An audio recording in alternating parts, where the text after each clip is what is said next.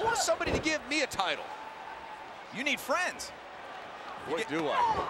Around Jack- here with you as a friend, it's tough. Jacqueline, look Oh, at this. gosh. Just tearing the hair out of Ivory's head, hooking This the is leg. brutal. And Ivory kicking out at one. I'm telling you what, Ivory's got uh, she's got that gold around her waist. There's a lot of people that want a piece of it. We know Jacqueline here, of course, and we know T uh, Tori wants another crack at the women's title. But Luna made an appearance at SummerSlam. We haven't seen her for quite some time. We also saw her really save Tori from herself this Thursday on SmackDown. Looks like Luna wants to get back into things.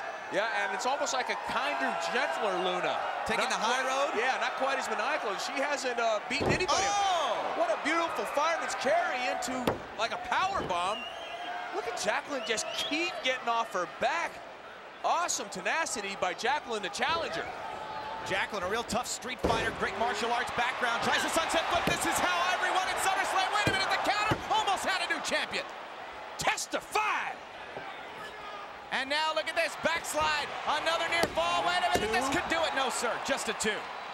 Boy, these girls don't have neck muscles where they can bridge like the guys, but great maneuvering. Oh, gosh, DDT! That has got to be it. New champion! Wow, and Ivory kicks out. What tenacity and strength. Do you understand how these girls are beating each other half to death, Kevin? This is survival of the fittest. Carter, wait a minute. Mike Chioda does not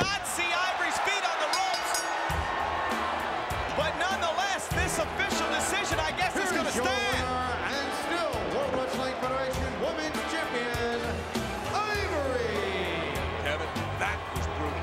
The only title that seems to be constant these days is the women's title, but many pieces of gold have changed hands here in the World Wrestling Federation.